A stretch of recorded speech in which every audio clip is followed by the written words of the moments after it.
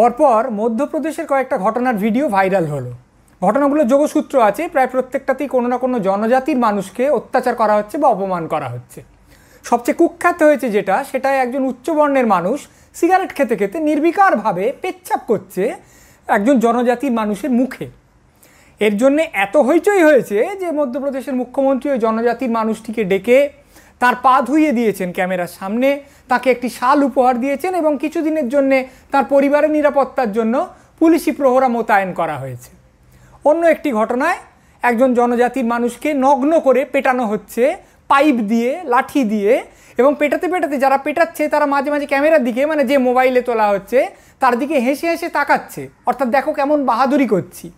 আরেকটি ঘটনায় দুজন জনজাতির কিশোরকে বেধড়ক পেটানো হচ্ছে আরেকটি ঘটনা জনজাতির নয়, একজন মুসলিম মানুষকে একটা গাড়ির মধ্যে পেটানো হচ্ছে এবং একজনের পা চাটতে বাধ্য করা হচ্ছে।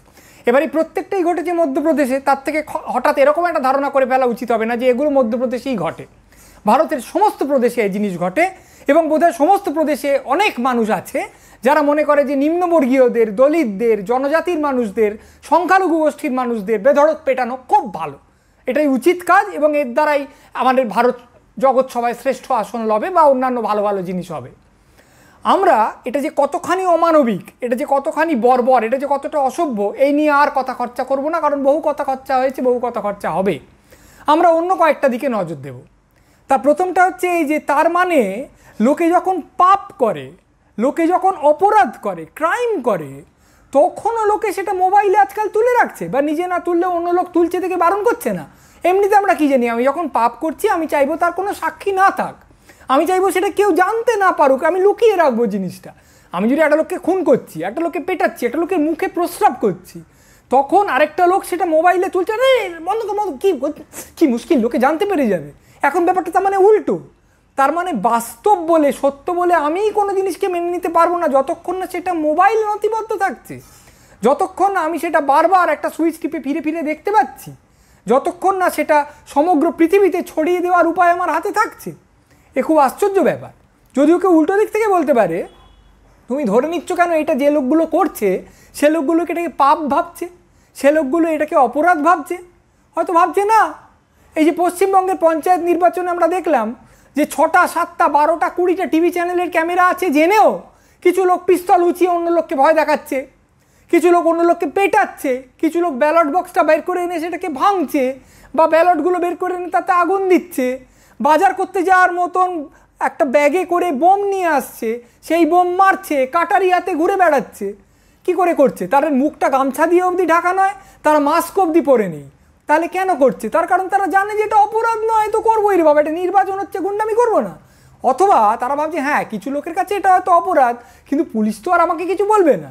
তাহলে এই লোকগুলো, যারা জনজাতির লোককে এই রকম চূড়ান্ত অত্যাচার করছে যারা বেধড়ক পেটাচ্ছে। নগ্ন করে যাকে পেটাচ্ছে, তাকে বারবার বলছে, হাতটা সামনে রাখতে। তারপর সেই হাতে প্রচণ্ড জোরে পাইপ দিয়ে মারছে এবং হো হো করে হাসছে। তো এই লোকগুলো মনে করছে এগুলো অপরাধ নয়, এগুলো পাপ নয় বা এমন পাপ নয় যে তার জন্য আমায় পুলিশে ধরে নিয়ে যাবে। আরে নিম্নবর্গের লোককে মারছি তোর বাবা, তার জন্য পুলিশে ধরবে কেন? তার মানে আগে যে ভাবছিলুম যে পাপ করলেও সেটা এখন লোকে মোবাইলে তুলে রাখে তা নয়। মোবাইলে তুলে রাখে তাই যাকে মনে করে পাপ নয়। আমরা ভাবছি এটা ওরা বুঝছে পাপ, ওরা মনে করছে এটা পাপ না। সেইভাবে চলছে। দ্বিতীয় যে ঘটনাটা লক্ষণীয়, সেটা হচ্ছে যে মানুষটির মুখে প্রস্রাব করা হয়েছে, তার সাক্ষাৎকারে তিনি বলেছেন দুটো কথা। এক হচ্ছে, এই যে পুলিশি প্রহরা এ কত দিনের লোকটা তো আজকে জেল খাটছে, তারপর ছাড়া পাবে, তারপর ফিরে আসবে, আমাকে অপহরণ করবে না তো? আমাকে এবং আমার গোটা পরিবারকে মেরে পুঁতে দেওয়া হবে না তো? এটা তো স্বল্প মেয়াদে দীর্ঘমেয়াদে কী হবে? হয়তো উনি এও ভাবছেন যে ওই লোকটা যদি জেল থেকে নাও বেরোয়, তাহলে উচ্চবর্ণের অন্য লোক তো আছে। তাদের মধ্যে তো ভ্রাতৃত্ব আছে, তাদের মধ্যে তো বন্ধুত্ব আছে। তারা তো মনে করে যে নিম্নবর্গের লোককে মাথায় চড়তে দেওয়া উচিত নয়। তারা একটা গ্রাম এসে যদি আমাকে পেটায়, আমাকে পুঁতে দেয়, তাহলে আমি কি করব। তার মানে এই ভয়টা কতটা গভীরে প্রথিত, তা বুঝতে হবে।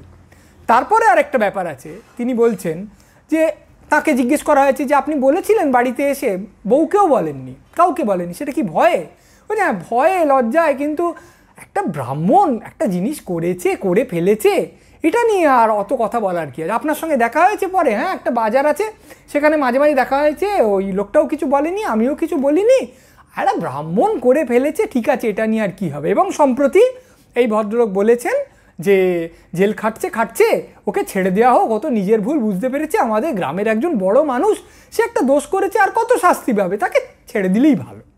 এটা একটা সুমহান ক্ষমা, নাকি একটা প্রকাণ্ড ভীতি, তা আমরা সহজে আন্দাজ করতে পারি, কিন্তু এই বৈশিষ্ট্যটাকে আমাদের নজর থেকে এড়িয়ে যেতে দিলে চলবে না যে এই ভদ্রলোক যার মুখে প্রস্রাব করা হয়েছে, এই চূড়ান্ত অপমান করা হয়েছে, তিনিও মনে করছেন যে একজন উচ্চবর্ণের লোক একটা ভুল কাজ করে ফেলেছে, তাই নিয়ে এত হইচই করার কি আছে? তার মানে উচ্চবর্ণের একটা ছাড় আছে। যদি কেউ উঁচু ঘরে জন্মায়, সে একটা আধটা দোষ করতে পারে। হ্যাঁ আমার বিরুদ্ধেও দোষটা করতে পারে। কিন্তু তাই নিয়ে তো হইচই করার কিছু নেই। কারণ ঈশ্বরের আশীর্বাদ আছে, বাড়তি আশীর্বাদ আছে বলেই তো সেই লোকটা উচ্চ ঘরে জন্মেছে। আর কিছু একটা অভিশাপ আছে বলেই তো আমি নিম্ন ঘরে জন্মেছি রে বাবা। তাহলে কিছু অত্যাচার আমাকে সহ্য করতে হবে? কিছু নিগ্রহ আমাকে সহ্য করতে হবে? এই নিয়ে তো হইচই করলে চলবে না।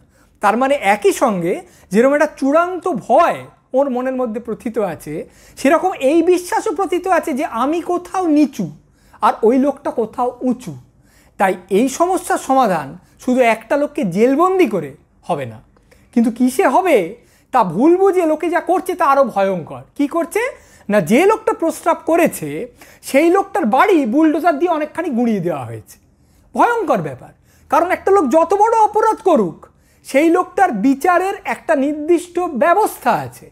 যে হ্যাঁ এই বা এই পদ্ধতিতে বিচার হবে এই উপায়ে জিনিসটা চলবে, তারপর জিনিস, লোকটার একটা শাস্তি নির্ধারিত হবে, তারপর শাস্তিটা দেওয়া হবে। তুমি দেখো যে শাস্তি যাতে দেওয়া হয়। তুমি দেখো যে বিচারটা যাতে ঠিকঠাক করে হয়। কিন্তু তুমি বুলটোদা দিয়ে বাড়িটা গুঁড়িয়ে দিলে কেন? না, আমি চট জলদি একটা সমাধান করে দিলাম। ওই লোকটা খারাপ কাজ করেছে বলছো তো? আমি ওর বাড়িটা বুলটোদা দিয়ে গুঁড়িয়ে দিলাম। এটা একটা বর্বর প্রথা। ওই লোকগুলো বর্বর, যারা লোককে পেটাচ্ছে, যারা লোককে পা চাটতে বাধ্য করছে, যারা লোকের মুখে পেচ্ছাপ করছে, এই লোকগুলো বর্বর, এই লোকগুলো নীতিহীন। কিন্তু এর বিরুদ্ধে যেতে গিয়ে তুমিও যদি বর্বর হও, তুমিও যদি নীতিহীন হও, তাহলে তুমি এই লোক লোকটার পর্যায়ে নেমে গেলে। তুমি আর উঁচু হলে না। একটা পাড়ায় পাড়ায় ঝগড়া হচ্ছে। একটা পার্কের ছেলে আর পাশের রাস্তার ছেলের মধ্যে ঝগড়া হচ্ছে। এ একটা থাপ্পড় মারলো তখন একটা ফিরে থাপ্পড় মারলো, এটা চলতে পারে। কিন্তু এই যুক্তিতে একটা রাষ্ট্র, একটা সরকার, একটা প্রশাসন চলতে পারে না। তাকে সভ্যতা জানতে হয়, তাকে শিষ্টতা জানতে হয়। সে বলতে পারে না, এ ঠিক আছে, মঙ্গলবার একটা অপরাধ করেছে, বুধবার আমি বুলডোজার দিয়ে গুঁড়িয়ে দিলাম। এ হয় না। বুলডোজার দিয়ে সংখ্যালঘু ব্যক্তিদের বাড়ি গুঁড়িয়ে দেওয়া হচ্ছে ব্যবসাপত্রে জায়গা গুঁড়িয়ে দেওয়া হচ্ছে, একটা নির্দিষ্ট জায়গা, সেখান থেকে হয়তো মধ্যপ্রদেশ সেটা শিখেছে। কিন্তু এই বুলডোজার সংস্কৃতি একটা সভ্য দেশের সংস্কৃতি হতে পারে না। এনকাউন্টারে অপরাধীকে মেরে ফেলব, পিঠে গুলি করে, তারপর বলব, বেশ করেছি করেছি, লোকটা তো ধর্ষণ করেছিল, লোকটা তো খুন করেছিল। তাই এইটাই সুবিচার। এইটা একটা দেশের ধর্ম হতে পারে না। কারণ যে চূড়ান্ত অপরাধী তাকেও সভ্য প্রক্রিয়া বিচারের মধ্যে দিয়ে নিয়ে যেতে হবে, তবেই আমার সভ্যতাটা প্রতিষ্ঠিত হবে। এটা মনে রাখতে হবে। মনে হচ্ছে যে আমাদের সমস্ত সুচেতনার ওপর কেউ বুলডোজার চালিয়ে দিয়েছে। আমাদের সমস্ত সুচেতনাকে কেউ একটা বর্বরতার পা চাটতে বাধ্য করেছে। এবং কোনো একজন যথার্থ একটি মোবাইল বা ওই রকম ক্যামেরায় এই জিনিসটি সাক্ষ্য রেখে উঠতে পারছে না।